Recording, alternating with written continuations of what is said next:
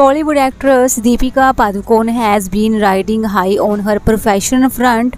Her last film Pathaan did exceptionally well at the box office.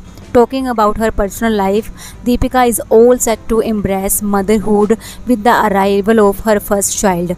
Yes, Deepika Padukone and Ranveer Singh are expecting their baby in September 2024. Recently, the moment to be left her fans wonder by reselling her baby bump revealing gown on her website.